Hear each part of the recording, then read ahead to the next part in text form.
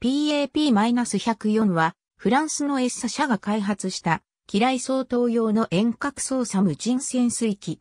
開発はフランス海軍の運用要求に応じて1968年より着手された。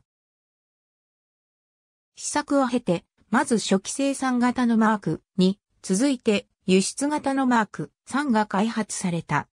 1983年にはマレーシア海軍の要請に基づき運用可能深度を120メートルから300メートルに増加するなどしたマーク4が開発された。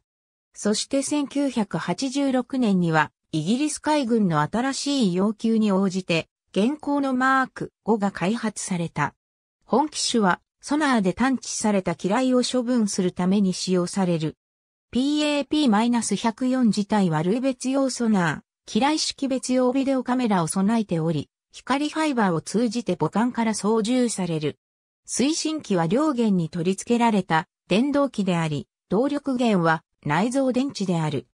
かかり機雷、沈低機雷いずれにも対応可能なよう 100kg の爆雷1個とかかり作カッターが2個取り付け可能となっている。